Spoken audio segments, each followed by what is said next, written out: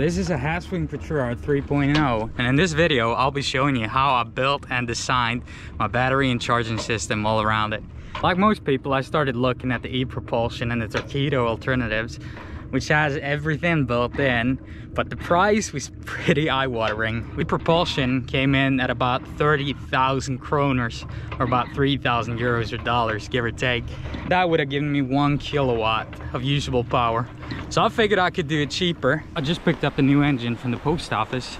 It's fairly heavy, but seems to be packed all right.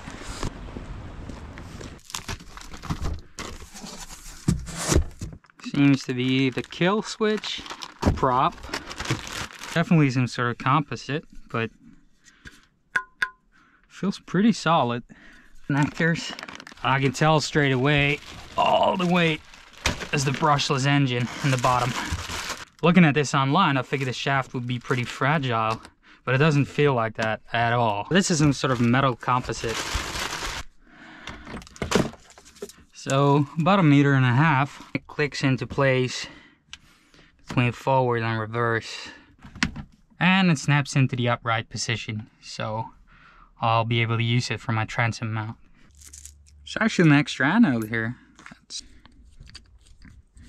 There's the drive pin pre-installed, which means I got two spares.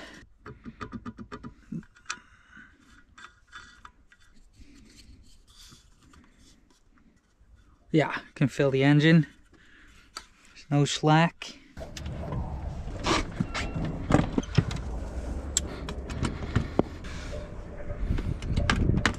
So I don't have a lithium battery yet.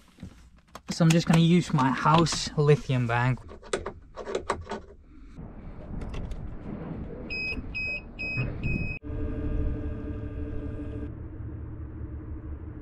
Seems to be working. We're doing about a third to a quarter throttle right now. Just ordered the 100 amp 12 volt lithium battery, so I'm gonna start mounting the separate motor bank as soon as I get it.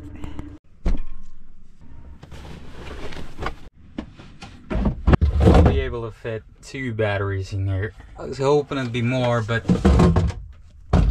yeah, it's not gonna work. Finally hauled it all back. Wasn't the easiest load to carry, especially the panel, but I got it on my bike. Another Blue Smart charger, battery cables, battery connectors, MC4 connectors, a Blue Smart charger. I just gotta put it all together and the fuse will arrive in a couple of days.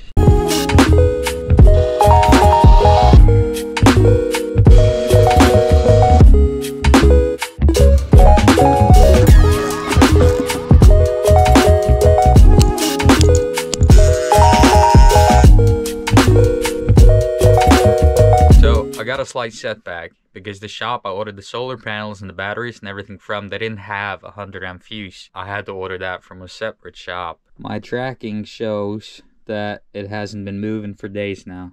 So what I'm gonna do today is test the cables on one of the batteries. I'll go out in the fjord, run it full throttle, and just check that I don't get any heat or well nothing starts burning. I've been going full throttle for the last uh, seven or eight minutes, running for 40 minutes total. So let's go downstairs and check the connections. All right. So, battery connections, both cool to the touch. Uh, bring a flashlight so you guys can see. No heat whatsoever.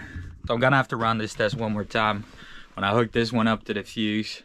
And then I've also got another battery cable I made, which I'm gonna connect to a shunt. And I'll hook the shunt up to my chart plotter. Which give me more than a guesstimate as to how much power I've got left. I finally got the final piece to the puzzle.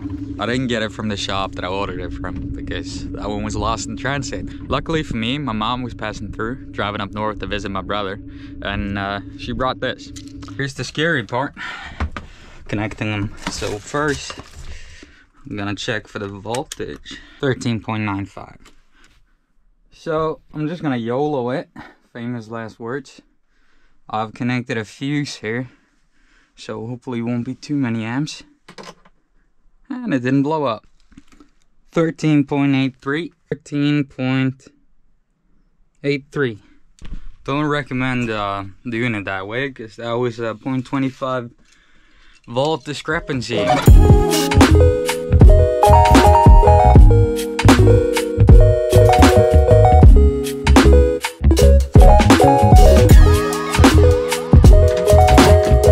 Discovered yesterday that I've had an issue with overheating, especially in the joints of the cables. This cable that went from the main switch got a bend in it, which was, I mean, it, it was just warm. It wasn't super hot, but I could see that it kept bending. So what I've done now is I've made a shorter battery cable.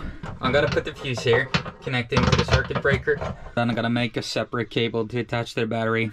I couldn't really put a cable going from that side and down there there's not enough space for a bend, I would just get the same result with a bad connection. So I'll ground away this whole part here, as you can see here, how it was. And it goes without saying that I don't recommend doing this, because it's there for a reason, because the screw isn't supposed to get contact with the cable. But it's not going to be any contact between the screw and the cables. It's only 12 volts, but I'm going to have to pay attention to it. Doing it like that, the cable will just have a nice little turn with no sharp bends.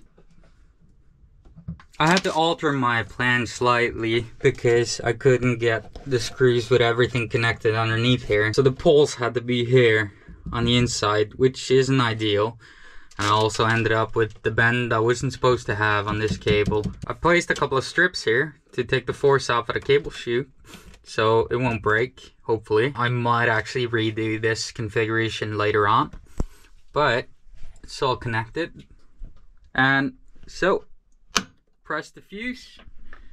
Key's ready. I'm wearing safety glasses, so here goes nothing. Works. That's pretty sweet. I was looking forward to this. I've been living like this for the past month and now it's been three weeks.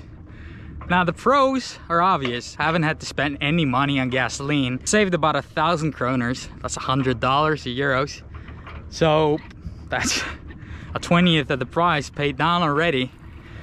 The cons, however, the whole thing about being equivalent to three or four horsepower, this engine being 900 watts, that's not really true.